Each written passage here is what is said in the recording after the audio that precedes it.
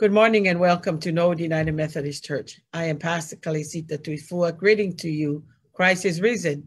He has risen indeed. As we continue to celebrate Jesus' resurrection and new life in the season of Easter, I invite you to join with me together with the California Pacific Conference. They have set up a worship for today with various people from different churches to lead us with music, prayers, sharing, and also preach the good news. There will be a sermon in English, followed with the Tongan message before the closing hymn. I'm so grateful for the conference, for this opportunity that we are worshiping across the ocean with Hawaii District, with the North, East, West, and South District of our conference. So let us come together in the spirit of Jesus' resurrection. where Jesus lives and he's with us. For Christ is risen. He has risen indeed. Whawhita i tua ko ta wau sia sa pa o e toi tuu. E koe malanga aho wha hoko mai ia me he ofisio pisope. Ko nau whakatu tuu ai malanga ki tau kau whataha i ngahi distriki e he ki Hawaii o inasi he tāpuaki pia mo i koloa e whakahoko mai i he rea whakatonga pe pehe ke rea whakapalangi i ahoni. Ko ia, tau kau whataha i he lotu pe mo i fia fia mo i whakawhita i ai pe ke o tua. Kua toi tu oa e ki, kua toi tu mo oni. Hallelujah. So let us come together and join our California Pacific Conference churches across the ocean and across the districts to witness that Christ is risen. He has risen indeed. Amen.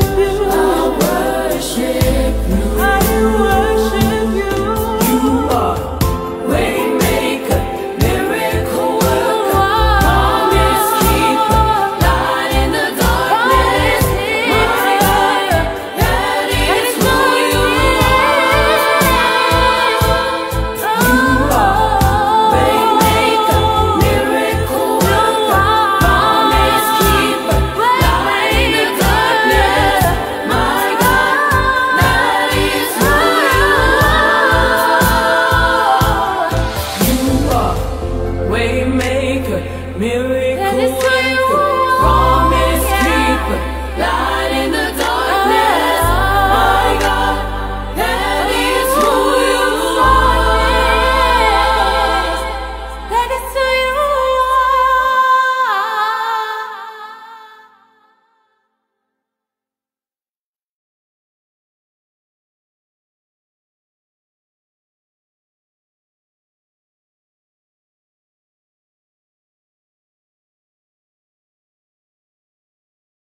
Come, let us gather in the one unifying spirit. Unite us, Lord, by your everlasting love. We welcome the one who doubts. We welcome the one who says, unless I see, unless I touch. We welcome those who have heard the good news, the resurrection news, and a field with fear, locked away, isolated one from another in distance virtual spaces. How very good and pleasant it is when kindred live, gather, and worship in unity. We've come to worship in spirit and truth with joy and thanksgiving. Come, let us worship the risen Lord.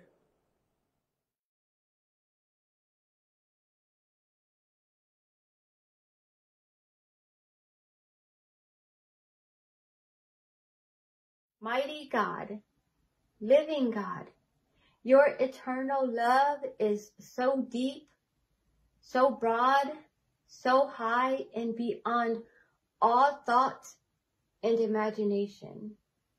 You made the world in beauty and restore all things in glory through the birth, life, crucifixion, death, and victorious resurrection of Jesus Christ. Give us a spirit of kindness to welcome all people in fellowship in generous affection. Teach us to keep faithful witness and to boldly proclaim the good news of Jesus' resurrection. As we move through the sorrows, trials, and uncertainty of life, strengthen and uphold us with knowledge of the final morning when in the glorious presence of your risen son, we will share in his resurrection. Amen.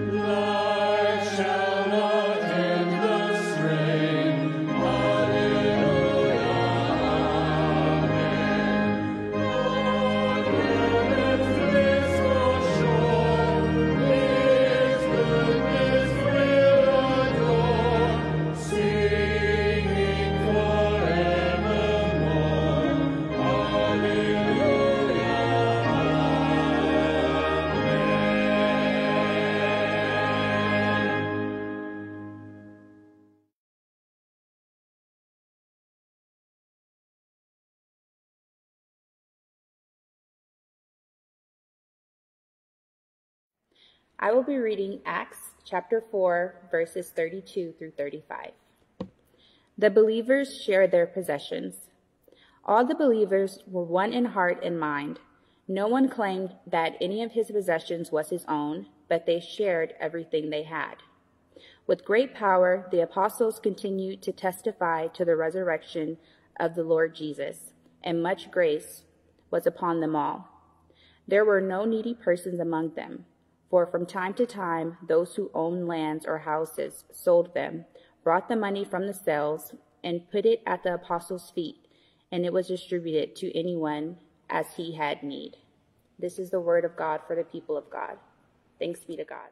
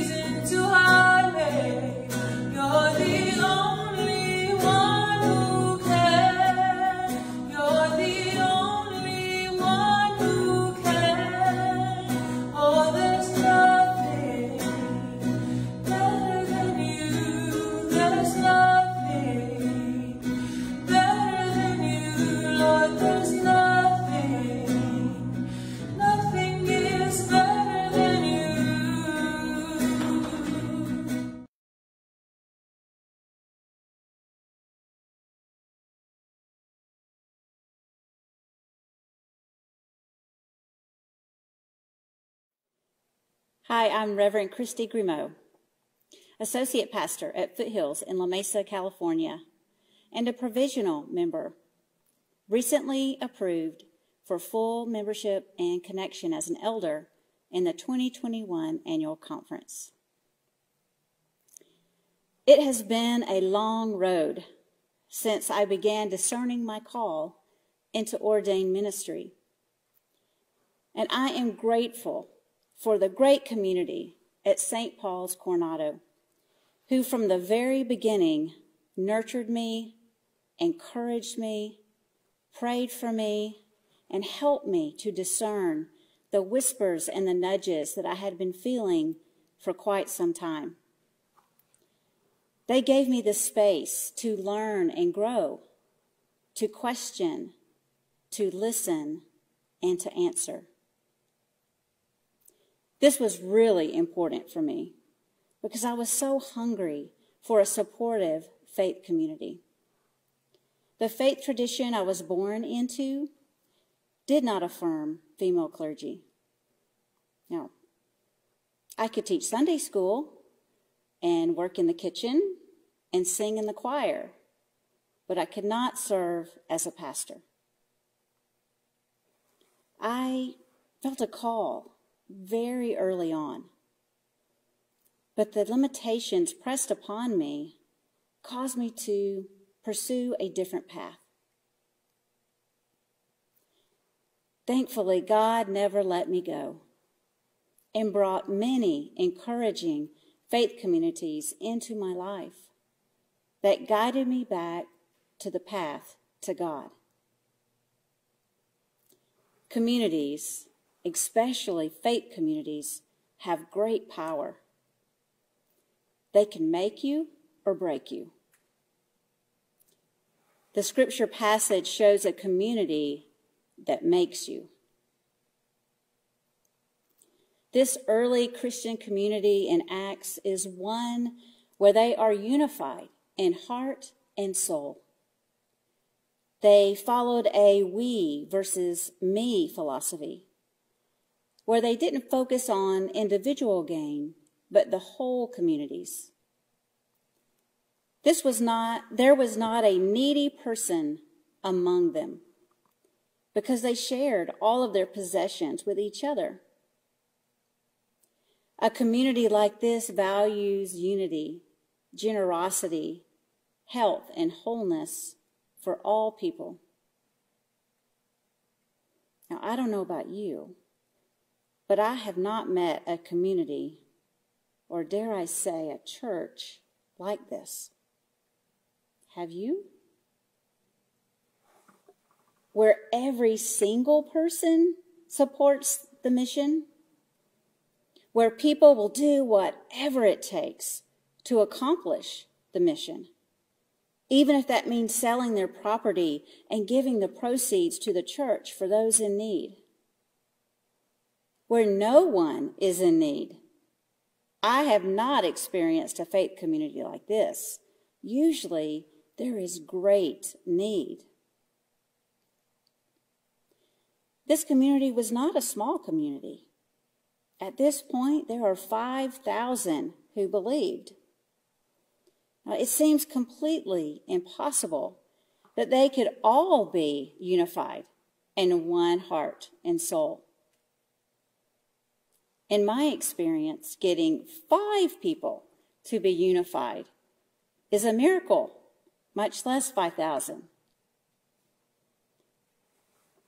Even if this was a hidden utopia that retreats from society, eventually there will be fractures from within.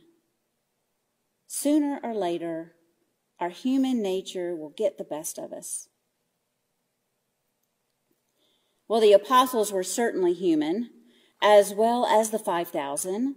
So, how were they able to be a community of love, unity, and generosity? Well, the verse that precedes this passage, verse 31, tells us. It says, When they had prayed, the place in which they were gathered together was shaken, and they were all filled with the Holy Spirit and spoke the word of God with boldness. The community prayed for boldness because they had just faced many challenges. Now, the timing was post resurrection, post ascension, post Pentecost, even. And the apostles were carrying on Jesus' ministry by preaching and healing people. Peter and John healed a man outside the temple gate, and the chief priests had them arrested. When they were questioned, Peter and John gave credit to the power of the resurrection of Jesus. So many people had witnessed this healing, and the healed man was standing right before them, so they couldn't deny what had happened. The Sanhedrin wasn't sure how to punish them without a revolt, so they told Peter and John they would release them if they promised not to preach in the name of Jesus. Well, Peter redeems himself. Remember when he denied Jesus three times before the resurrection? Now, post resurrection, he stands in full confidence and authority, filled with resurrection power, and denies Jesus no more. In verse 20, he said with boldness, we cannot keep from speaking about what we have seen and heard. Well, they are released anyway, and then gather with their community to give thanks to God. They pray together and ask for boldness to carry on Jesus' ministry of healing and restoration. And while they were praying, the Holy Spirit falls upon them, and the power of the resurrection is so strong, it shakes the house. I want to be part of a community where the Spirit shakes the house. So many communities are asleep, lost, divisive, and downright harmful. We need the power of the resurrection to shake us and transform us into encouraging communities of love. What would our churches look like if we were unified in mission and values? Not unified in political views nor biblical interpretations, but communities as one based on the gospel of Jesus Christ. What would our churches look like if the mission was to not have one needy person among them, where every person is restored to wholeness, not just a few?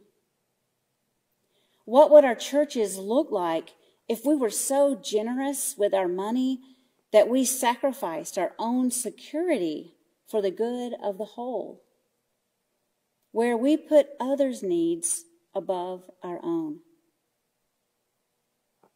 What would our communities look like if every person prayed and prayed for boldness to become a transforming presence in the world, where we cannot keep from speaking about the power of Christ? Well, Scripture shows us what they would look like. They would look like this this early Christian community whose sole purpose was to carry on Jesus' ministry of healing and restoration. And the best way they accomplished their mission was to resemble Jesus. A community that resembles Jesus is one that values unity, generosity, and health and wholeness for all people. A community that loves, shares, and encourages. You know, I have to ask. You know it's coming. Do our communities resemble Jesus? Are we so bold that we can't keep from sharing about Christ's transforming love?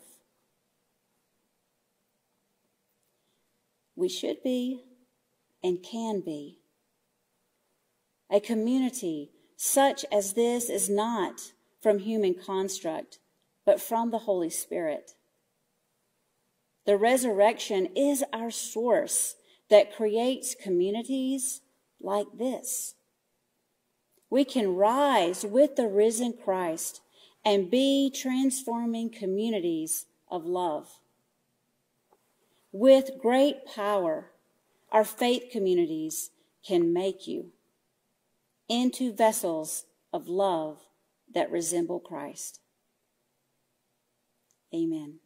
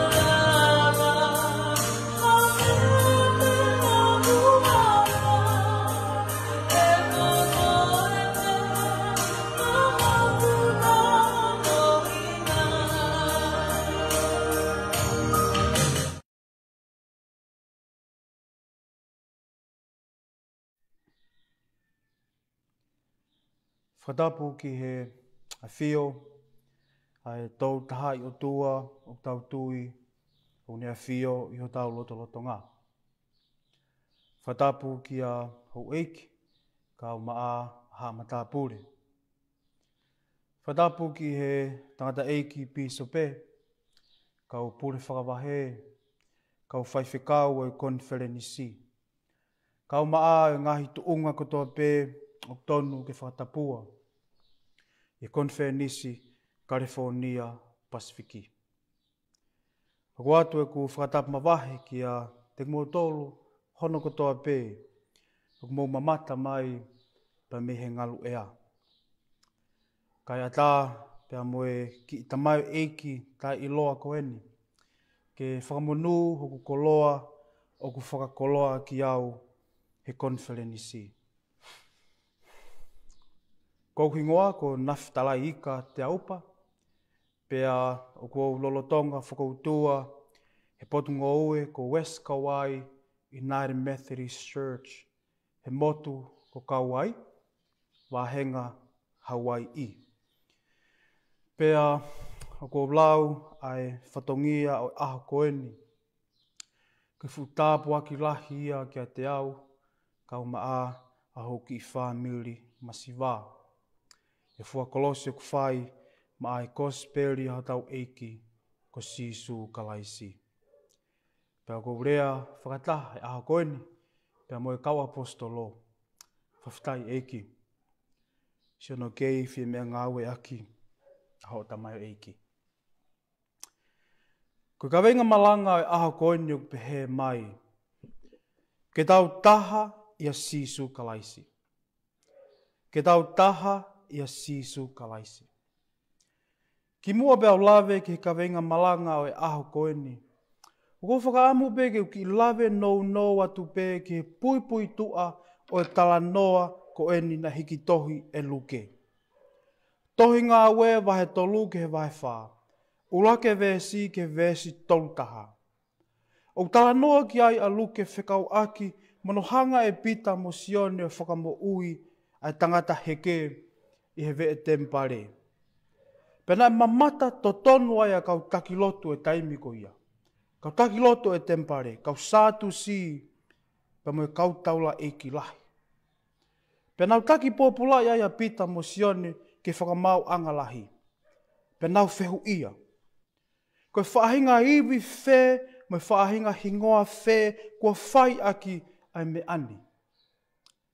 Pe kono whakarea e tahaa, koe haha ma whai whakalotu, na mo whai aki a whakamo ui ko e ni. Petari ai e pita o pehe, koe huafa o sisu kalaisi pe Nasareti, aia na mou kalusi whai ka kua whakotuu e ho tua me pekia. Koe huafa o sisu kalaisi toe tuu ko ia na ne whakamo ui ai tangata heke ko eni. Pehili no whakawhehu ia ki naua e he kautaki lotu. Na nau tukuange ki naua he na mahino ia ka teki nau tolu. Na mātu aki toko lahi ai kakai ia na nau mamata to tonu ki he whakamo ui na e whai. Pehe i kai ke lava e nau tolu o whaka ilo pe whakahala ia i he whare hopo a pita musione, aki e nau mawhai whakataula e ki, pe mawhai whakalau. Pa iku ai o nau tukuangia a pita musione whakataha na muhono whakamana mana i ki naua, ki aua nā na toi rea aki a hingoa o sisu, te ria na ako me ai ha toko lahi, pe keina a fukau mui mui. Pe tala mai he tala noa, na na fōki ai ki hona kakai.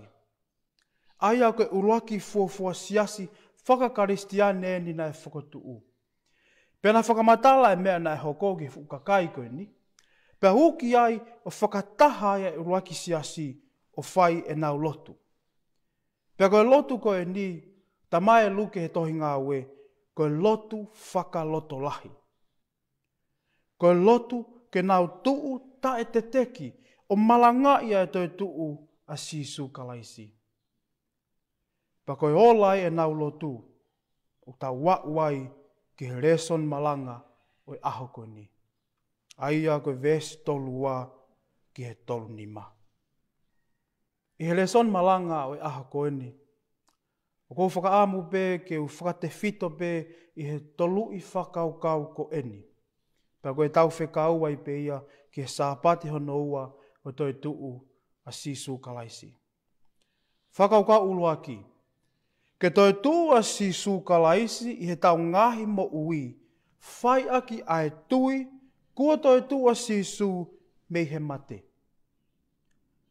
Talamai e he le soni o aho koeni, ko ki nau tōlu kotoa i he uluaki sia si na e tui. Na nau ua wanga taha, mo loto taha. Ko haa rewa uhinga luke ki heni. Ko uhinga a luke, ko e tui o toi tu a si su he tau ngahi mo ui, ko e tui toi tu a si su he tau whakau kau, ka mea te pū a ho tau loto. Ke toi tu a si su he tau ngahi whakau kau, ka mea te pū a ho tau loto. Jesus is resurrected in our minds, but most importantly, in our hearts. O kai taime ni ihi o kumahino maari e pe toi tu uia si sisu ki he tau whakaukau. Pe tau tala noa mo rea aki hono maari e. Ka oku i kai ke tui ki ai ho tau ngahi loto o tau tolu. Pe koe taimi pe koe oku pehe ai, pe ku i kai rewa koe tui ia ka koe ilo pe ke toi tuu a sisu kalaisi. When Jesus is resurrected only in our minds, but not in our hearts, then it's only a knowledge of his resurrection, not a belief. Pea koe hako naki a luke he tala noa ko e ni. Ke tau hange ko e uraki fuafua siasi. O toi a si su he tau mo ui, whai aki a e tui i he whakau kau, ka koe mea mahuinga taha ko ho tau loto. To allow Jesus to be resurrected in our minds, but most importantly, in our hearts. Koe whakau kau hono wau pehe mai. Ko taimi u tau tu wai a si su he tau mo ui, whai aki ai tui. E nofo ia lewa e keresi lahi i ho tau loto. When we believe that Jesus is resurrected in our lives, His grace will live within us. Talamai he re soni he ves tau tolu. Nai tuu kau kaua au pito e ka apostolo, he nā whakamaoni ki he toi tuu, a tau e ki ko sisu kalaisi. Pea ko ia ko toha pe he uruaki si asi na e tui ko toi tuu a sisu kalaisi. Na nofo ia ki nau tolu ko pē e hakeresi lai. Not a finite grace, but an infinite grace. Koe hārewa ke resi ko enu tala noa kia ia luke he tohi ngā ue. Koe ke resi ko ia, koe ofa oku laku noa. Koe ofa oku fuaki more more i kai te eke hano to. It is an undeserved love, an unconditional love that is given freely. Pe tau wau ma le vai ke whakau kau whaka osi u ki malanga koe ni. Pe koe konga whamui mui beia e re soni o aho koe ni. Tala mai e re soni na nau taha he mea kotoa. He goia kotoa pēna e masiva na e ofai. Goia kotoa pēna e nofo i kai ke aha pare pare ke malu malu ai pe ha feitu ke ui ko api na ange hono api. Ko ia ko toa pēr nai ma umea, na na wahe wahe atuia ke teki nau tolu, nai masiva hona ngahi ni ma. Pea koe ngahi nau nau eni ai fukeresi lahi na e nofo i hona ngahi loto. Pea koe natula eni ai ofa o ku laku noa. O kui kai te lau hataha ko ke. Pe hū mata niu hana o whai hataha, o hinga ko hane tu unga. Ka koe ofa tai eke hano to tonu. O hinga pe koe fukelesi lahi na nofo i o nauloto. Ka inga o eike. Ko i misi to tonu eni o e taha i a sisu kalaisi. Ko uruaki whakata a tāho tau ngāhi loto, ko te tu e tamasiko sisu kalaisi, i tau ngāhi mo ui whakafoi tui tui. Pe koe taimi kou toi tu a su e tau ngāhi mo ui whakafoi tui tui. O ku hifo lewa e ne kere si o nofo i ho tau loto. Pe hanga lewa he kere si ko ia o whakamā opo opo ki tau tolu ke tau taha i a sisu kalaisi. Sia seo eiki. Koe mamani o tau nofo ai hangebe o mo osi mea i. Koe fu mamani furi ki vanueni. This world that we live in today is a very broken and sinful world. I Amerikani, whenga kau taki ho tau whanua ke whakatahataha i ki tau tolu e ngai whaunga keke. Whakapolitikare, whakaekonomika, whakamilitare. Mo i kai pe ke aha ola le rei ka ko hota tāpua ki a koe pa mua karistia ne. O kui kai, ki tau taha ki tau taure ngai whaunga o e māmani ko e ni. Ka ko sisu ka laisi, haia na e toi tuu me he mate.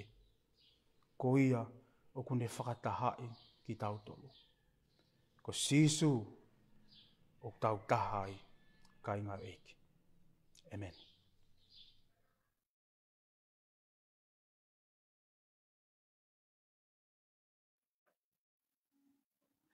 In Acts chapter 4, we see the early Christians were unified in the manner in which they showed love and cared for their faith community. I was struck by the generosity of these believers, holding back nothing, giving all they had to build the community. During this Easter season, we find ourselves face to face with the challenging circumstances and situations, the noise and the distractions that attack our faith. In the midst of these times, I am asking you to make an offering. Some of you are battling illness. Others are faced with losing homes and jobs. Many are grappling with the loss of important and critical life sustaining resources. All of us are concerned about the well being of family members, friends, and other loved ones. Under the burden of all of this, I'm asking you to make an offering because making an offering is essential to worshiping in spirit and in truth. Making an offering is essential to deepening our faith. Making an offering leads us to draw nearer to and walk closely with God. To the glory and honor of our Lord and Savior. In these challenging times, I'm asking you to make an offering to support the ministries of your home church. Let us pray. Holy and sovereign God, we proclaim that Jesus the Messiah lives again. Yet our thoughts are distracted by the many challenges of life. We lose sight of your abundant love. We lose sight of your grace. We lose sight of your mercy. We lose sight of the meaning and joy of Easter. We forget that we are an Easter people. Almighty God, send your spirit. Let it be through the power of your Holy Spirit that we focus on the resurrected Christ remembering your promise of abundant and eternal life. O great provider, strengthen us to give freely. Strengthen us to give generously. Strengthen us to give cheerfully. Amen.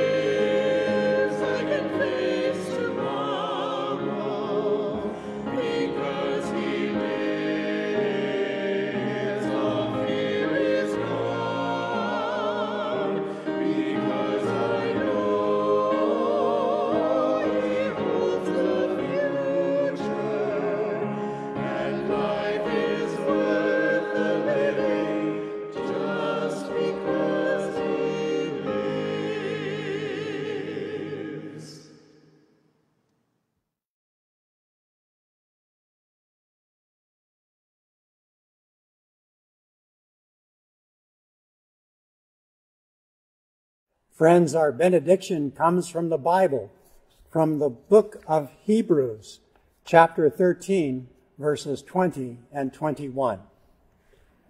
The God of peace, who brought back from the dead our Lord Jesus, the great shepherd of the sheep, by the blood of the eternal covenant, make you complete in every good gift, so that you may do God's will. May God work among us all that which is pleasing in God's sight through Jesus Christ, to whom be the glory forever and ever. Amen.